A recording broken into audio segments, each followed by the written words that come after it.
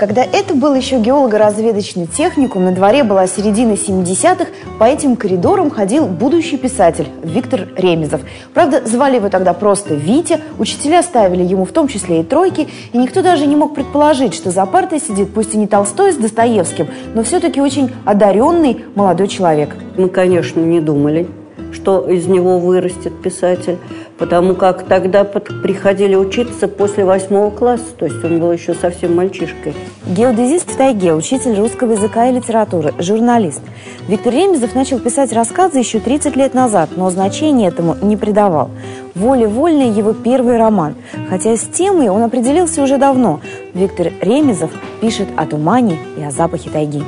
Лиственницы облетали над плесами – Желтые буроватые хвоинки быстрыми легкими волчками вертелись в звенящем воздухе и вдруг застывали над прозрачной гладью. Самая приятная стояла погодка.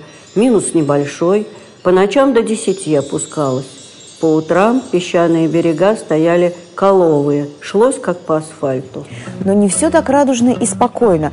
«Воля вольная» не о таежных красотах. Это книга о нашей жизни, порой неприглядной и грязной, но все равно привычной и родной.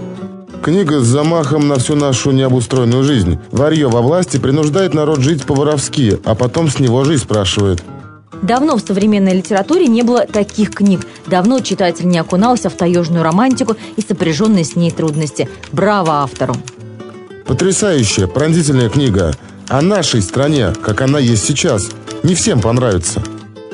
«Воля вольная» Виктора Ремезова победителем не стала, но в шорт-лист одной из самых престижных литературных премий «Большая книга» все же вошла. А это значит, что почитать роман стоит, хотя бы для того, чтобы иметь о нем собственное мнение. Но найти произведение нашего земляка можно в сети магазинов «Моя книга».